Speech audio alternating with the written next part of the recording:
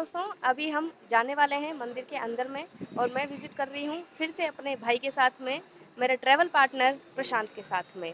काफ़ी टाइम बाद लॉकडाउन के बाद में हम दोनों ये पहला ट्रिप कर रहे हैं।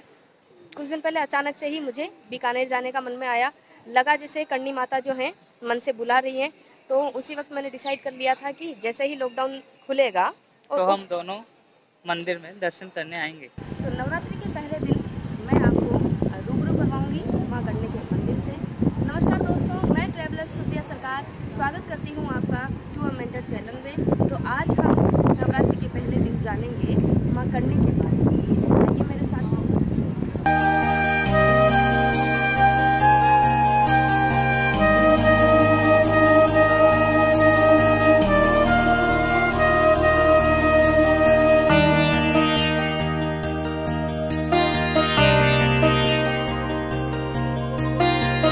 तो माता कन्नी का मंदिर जो है बीकानेर से 30 किलोमीटर दूर है।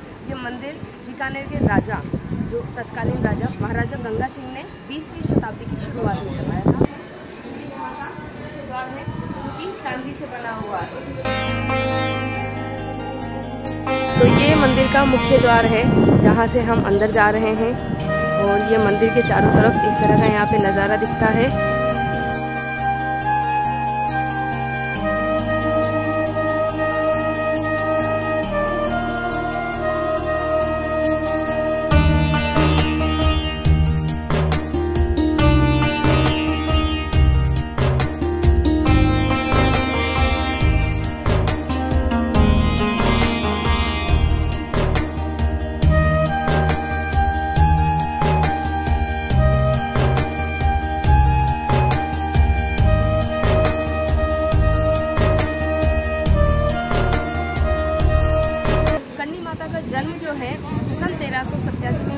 एक सौ इक्यावन साल वो जीवित रही तेईस मार्च पंद्रह सौ अड़तीस को वो ज्योतिर्लिंग हो गई। ये है माता जी यहाँ से हम प्रवेश करेंगे और ये है करनी माता का मंदिर। देखिए, आप भी दर्शन कीजिए।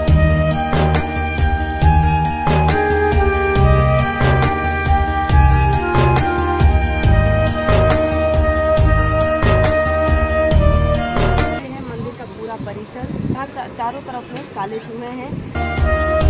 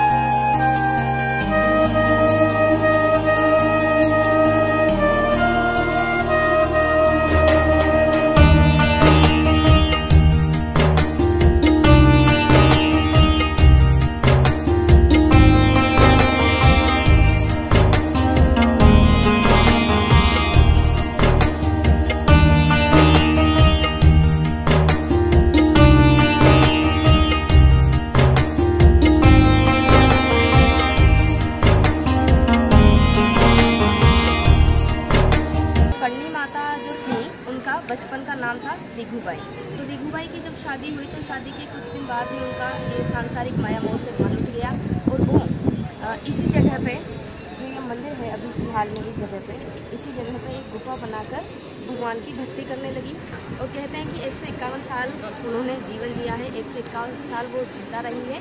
उसके बाद तेईस मार्च पंद्रह को वो ज्योतिर्लिंग हो गई। तो मंदिर के बाहर दोनों तरफ़ में जो ये शेर हैं कहते हैं कि इनके पैर दबाए जाते हैं और इनके कान में कुछ मन्नत मांगी जाती है।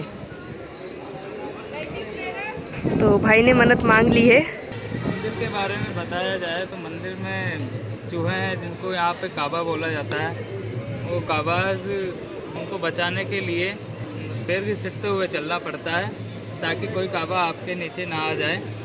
अंदर माँ करणी माता का मंदिर है। दोस्तों, अभी हमने देखा कन्नी माँ का मंदिर। कन्नी माँ के मंदिर में हमने काफ़ी सारे काबा देखे काबा जो कि आप जानते ही होंगे, चूहों को काबा कहा जाता है। लेकिन उनको यहाँ पे काबा नहीं बोला। लेकिन उनको यहाँ पे चूहा नहीं बोल सकते हैं, काबा उनको बोलते हैं। काफ़ी सारे यहाँ पे कहते हैं कि 20 से पच्चीस हज़ार यहाँ पे काबा होते हैं। और उनमें से अगर सफ़ेद काबा आपको दिखता है तो भाग्यवान माना जाता है।